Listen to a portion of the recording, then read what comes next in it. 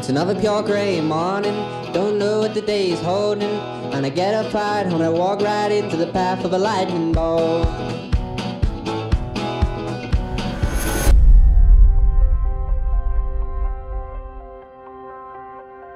I want you to do something for me. You know, my little brother John, I want you to look after him. He's getting picked on.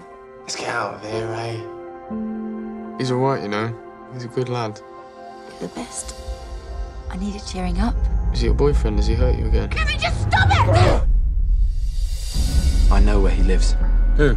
Kevin. He's a dangerous, violent criminal. She said to stay away. You're gonna get it, McNeil! I'm not scared of you! Everyone is being watched. Everyone is being followed. Someone instructed Mark to kill your son. Watch your fucking back. You don't know what I'm capable of!